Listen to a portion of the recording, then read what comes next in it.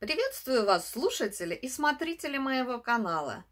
На календаре началась осень, но это лето задолжало нам целый месяц отдыха, хорошего настроения и хорошей погоды из-за непомянутого к ночи карантина.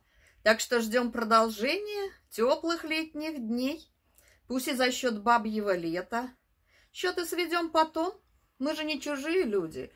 Тем более, что я только что как две недели начала снимать свои ролики на воздухе, в городе и на природе.